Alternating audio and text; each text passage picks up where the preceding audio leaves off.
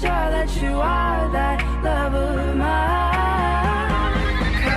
I'm in a field of dandelions, wishing on everyone that you be.